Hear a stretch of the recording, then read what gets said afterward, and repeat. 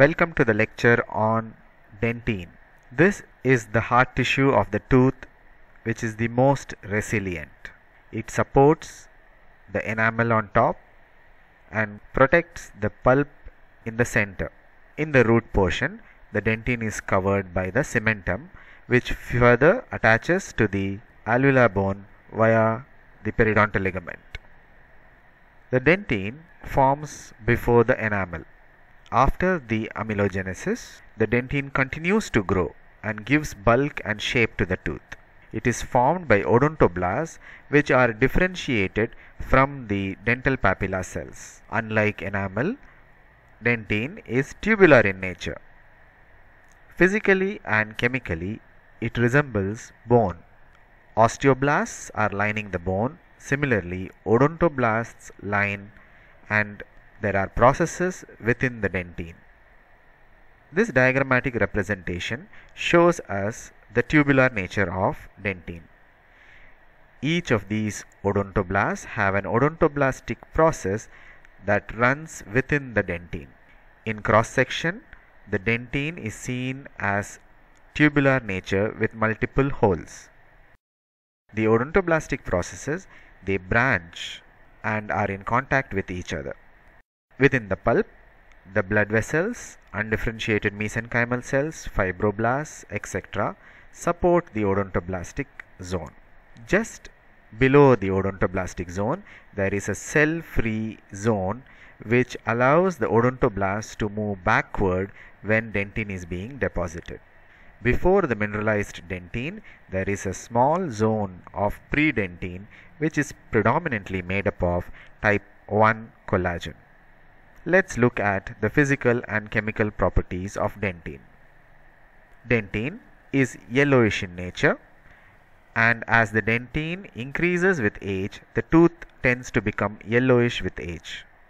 It is more elastic than enamel and resists slight deformation.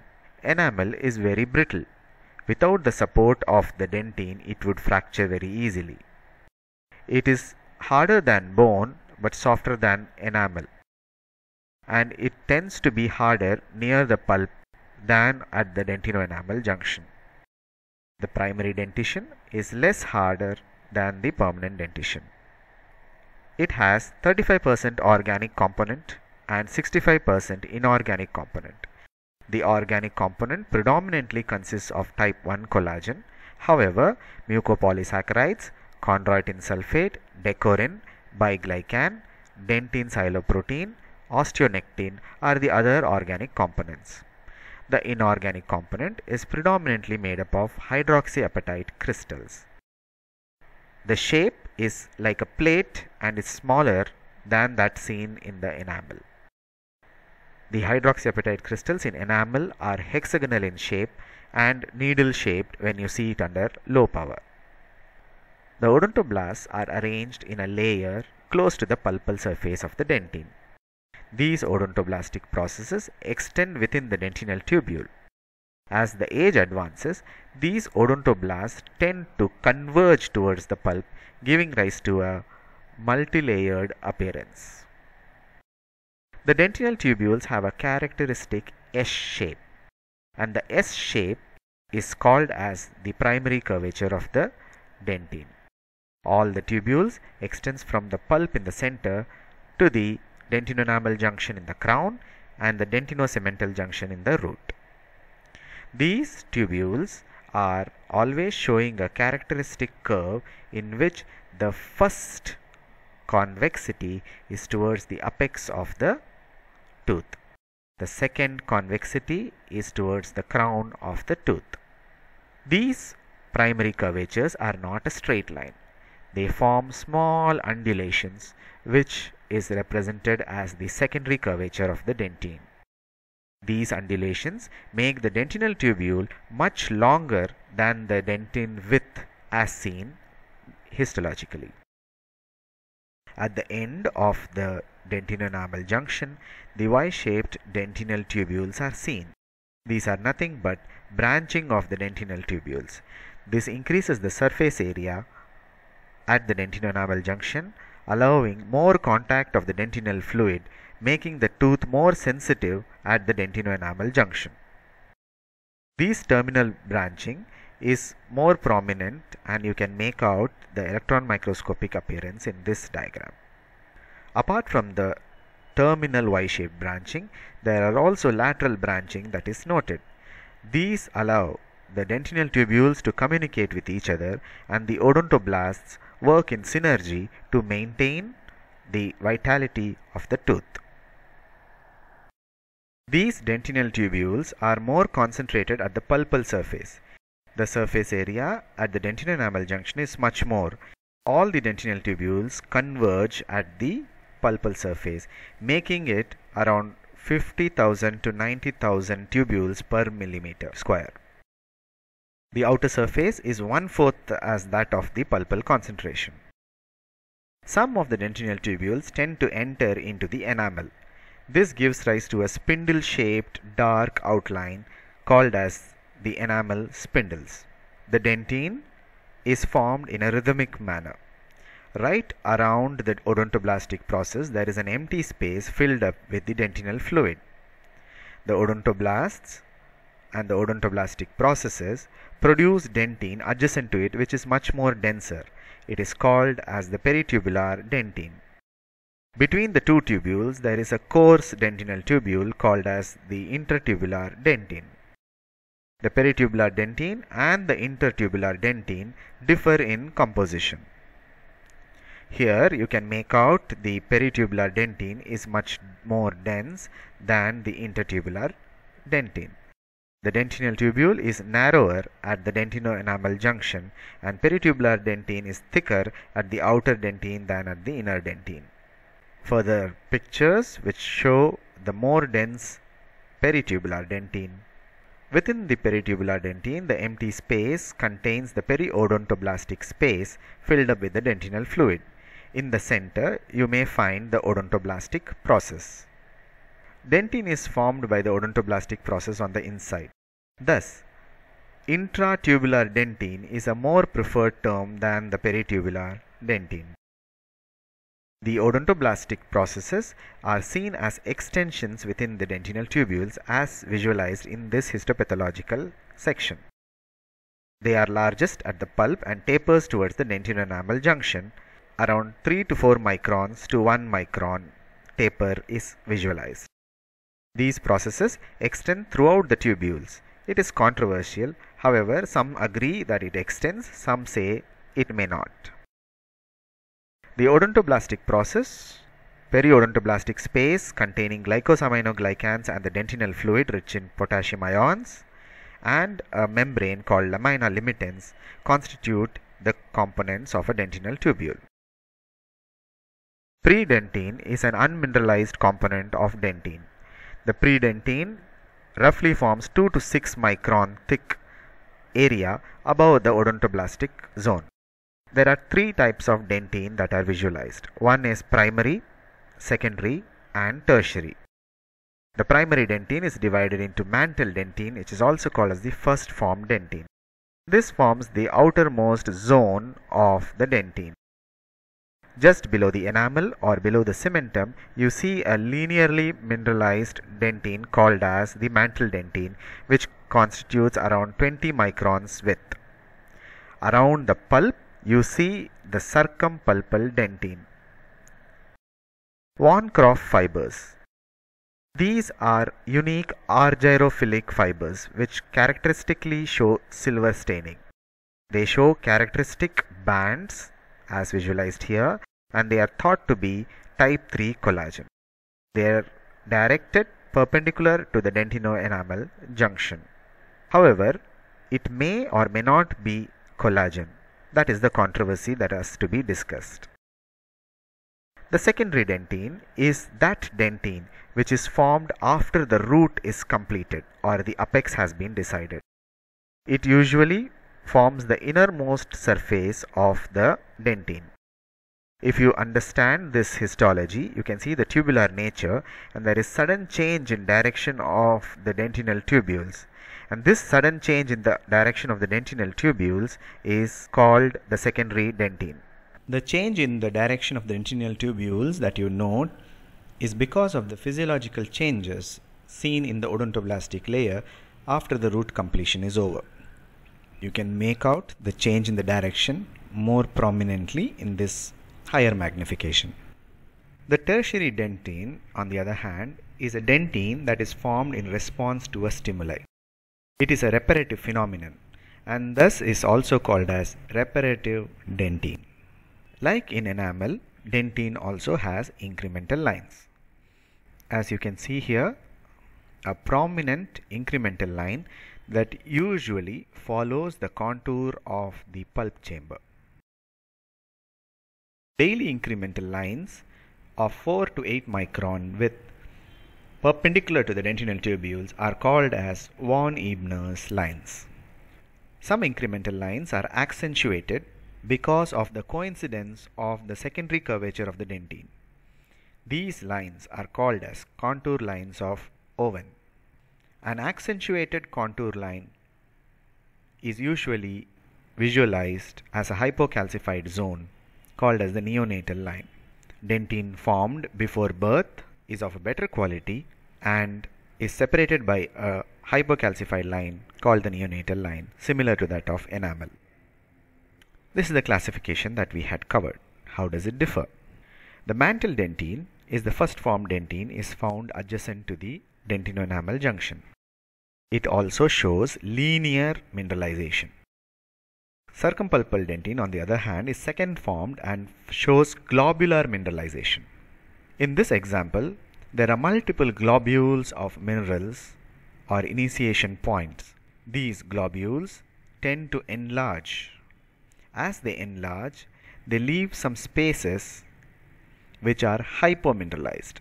These are called as interglobular dentine. Each of these globular mineralization zones are called as calcospheroids. These hypocalcified areas of interglobular dentine show the collagen fibers or the dentinal tubules passing through them. In a transmitted light, they look light and in a reflected light, they look black. This is more prominent at the junction of the mantle and the circumpulpal dentine. The Tomes granular layer is a phenomenon seen on the root. Adjacent to the cementum, there is a transparent layer of hyaline layer of Hopewell-Smith. Because of the looping and coalescing of the dentinal tubules, the cross section appears as granules. Here you can make out the hyaline layer of Hopewell-Smith and the dentinal tubules cross sections. Dentin is a dynamic tissue it has various age changes. Dentin is a vital tissue with the dentinal fluid moving in and out of it and they react to various pathological stimuli like dentinal caries, abrasion, attrition or it may be an iatrogenic cause where the cavity is being prepared. Dentine unlike enamel is formed throughout life and can regenerate. Here is an example of attrition. This may be physiological or pathological physiological attrition may be because of constant chewing, clenching of the teeth, and pathological may be due to a muscular difference in the chewing habit, like night grinding or bruxism. Abrasion, on the other hand, is a pathological phenomenon where there is mechanical abrasion of the cervical portion of the tooth because of improper tooth brushing. Erosion is a chemical phenomenon in which regurgitation or carbonic drinks may lead to demineralization and erosion of the tooth surface. Whatever be it, whenever the enamel is gone, the dentine reacts, giving rise to some amount of sclerosis because the odontoblastic processes deposit dentine and removes the refractory index difference. In case of a slow injury, the sclerosis is seen and represented as reparative or reactionary dentine. If the injury is fast and the odontoblastic process does not have enough time to fill up the dentinal tubule, they are filled up with air and are called as dead tracts. A sclerotic or transparent dentine is mainly because of the refractive index becomes equal between the peritubular and the intertubular dentine. So in this photograph you can make out that the meshwork is seen through the tooth surface.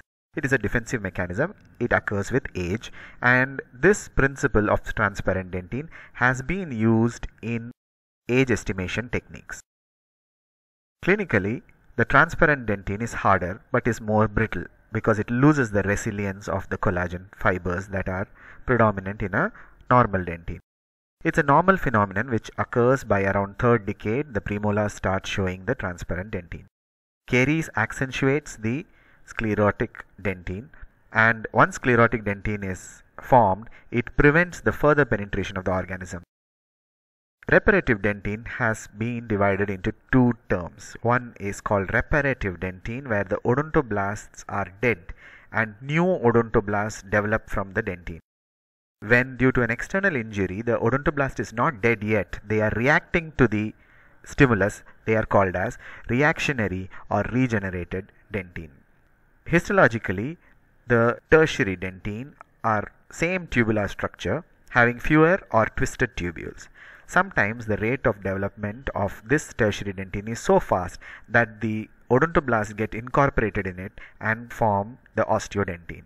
The dead tracts are because of the degeneration of the odontoblasts. The dentinal tubules that were supposed to be supplied by these odontoblasts get filled up with air and they appear black in transmitted light and white in reflected light. Here is an example of a dead tract. The dentinogenesis usually begins in the late Bell stage. It begins at the cusp tips. First the dentine is formed. Reaction to that is the amelogenesis. The odontoblasts which are differentiated from the dental papilla cells and they divide into two dissimilar cells. These precursor cells are obligatory asynchronous dividers. They divide in such a way that one differentiates to form the odontoblast whereas the other remains undifferentiated and is one signal short of becoming an odontoblast. The signals which stimulate include the transforming growth factor beta, insulin-like growth factor, bone morphogenic protein, etc. Once this develops, the mesenchymal cells which are underlying also differentiate. Here is an example of the ameloblasts and the odontoblasts and the mineralization has begun at the interface. The odontoblast increase in length, develop processes called as odontogenic processes. They are also called as Tomes' fibers. They are rich in Golgi apparatus and rough endoplasmic reticulum. Once these odontoblasts differentiate, they lay down a layer of collagen matrix called as predentine. This matrix is then deposited with lot of crystals. These proteins and crystals together play an important role in mineralization. The various mineral proteins are dentine phosphoprotein which are anionic and they attract more of calcium and controls the growth of an apatite crystals.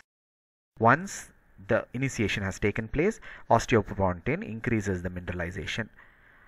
When the two big globular masses of mineralization are contacting each other, they are inhibited by the presence of osteonectin. They promote adhesion to the collagen fibers. The odontoblasts actually release all these contents in a matrix vesicle. This vesicle not only contains crystals but also various growth factors and protein. Once they are released, they get incorporated inside the collagen fibers. Collagen has a typical 64 nanometer quarter stagger pattern and these have some pores in between and these pores allow the penetration of the crystals. Once the initiation has taken place, they grow and they become mineralized. The type of mineralization as discussed previously, the mantle dentine shows a linear mineralization whereas the circumpulpal dentine shows a globular mineralization in the form of calcospherite. The dentinal tubules continues to form at a rate of 1 micron per day. The reparative dentine, however, can be much faster up to 4 microns per day and the speed may also incorporate odontoblasts leading to osteodentine formation. Clinically, it increases the spread of caries when the organism enters the dentine because it's tubular in nature. Not only that, the branching at the dentinoenamel junction causes a lateral spread of caries. So externally it may look like a small pit but internally it may be a big cavity. The host immunity plays an important role in preventing the spread of caries. Sclerotic dentine and reparative dentine formation prevents the further spread of caries into the tooth.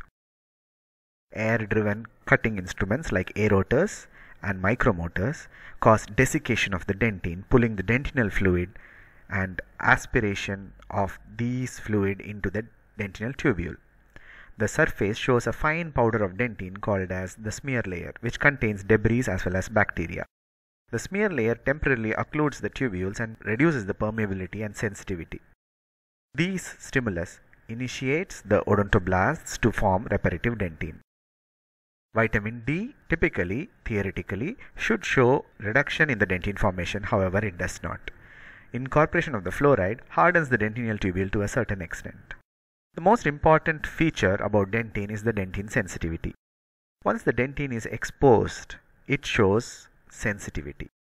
This could be iatrogenic or microbial. There are three theories of dentine sensitivity. Direct innervation theory, transduction theory and hydrodynamic theory. The direct innervation theory states that a nerve fiber enters along with the odontoblastic process and ends till the tip of the dentinal tubule at the dentinoenamel junction. However, it does not explain the maximum sensitivity that is seen at the dentinoenamel junction as there is only one nerve fiber ending there. The nerve fibers should be stopping the pain once local anesthetic is placed on top of them. However, this does not happen. The nerve is also not demonstrated to extend to the full length of the tubule. Hence, these factors do not support the direct innervation theory. The transduction theory, on the other hand, believes that the odontoblasts, which are derived from the neural crestal cells, have a possibility of having a synapse with the nerve. The odontoblasts and the odontoblastic process, which branch at the dentinoenamel junction, are stimulated by the injury on top, and the signal is transduced through the odontoblastic cell and the body, goes through the nerve, causing stimulation. But immunohistochemical studies have shown no neurotransmitters which are to be demonstrated, neither are any synapses demonstrated. However, it does support the theory that there is increased sensitivity at the dentinoenamel junction. The most accepted theory is, however, the hydrodynamic theory. The hydrodynamic theory states that the odontoblastic zone and the odontoblastic process need not enter the full length of the dentinal tubule. The dentinal tubule, however, is filled up with dentinal fluid, which has increased surface area where at the dentinoenamel junction the Y-shaped dentinal tubules are formed. Due to desiccation, due to movement or any microbial stimulation, this fluid moves and leads to trigger of movement at the pulp chamber. The nerve endings at the pulp chamber sense this and this explains why local anesthesia doesn't work, also explains why dentinoenamel junction has the highest sensitivity. This by far is the most accepted theory of dentinal sensitivity. To conclude, the structure of dentine forms the bulk of the tooth and gives vitality to the tooth and it is reparative and forms throughout the life. The clinical significance as well as the various properties of the dentine help in restoring the tooth as well as has other utilities like age estimation in forensic odontology. Thank you.